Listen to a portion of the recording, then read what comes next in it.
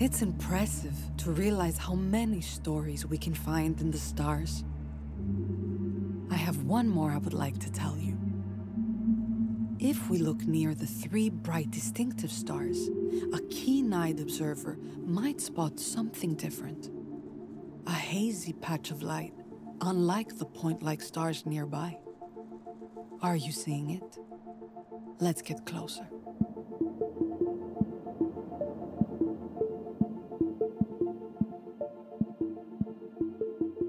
This is the Orion Nebula. And using telescopes, astronomers have figured out what it looks like up close.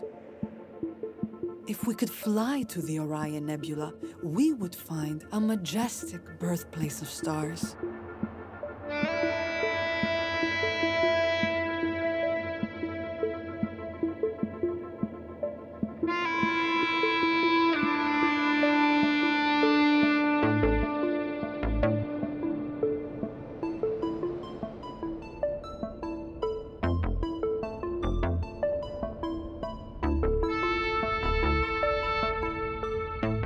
If we look closely around some of the fainter stars, we see teardrop shapes sculpted in the same powerful radiation.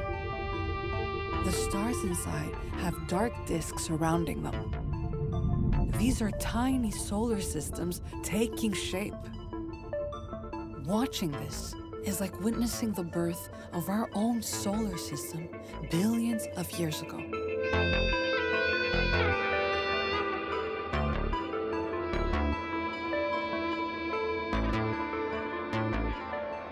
Modern astronomy has introduced us to this place.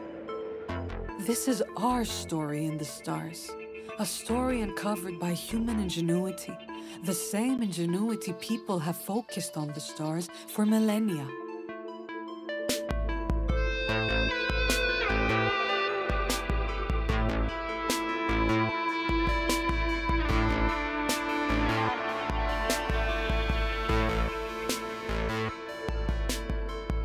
When you look at this part of the sky, perhaps you can think about stars being born far, far away.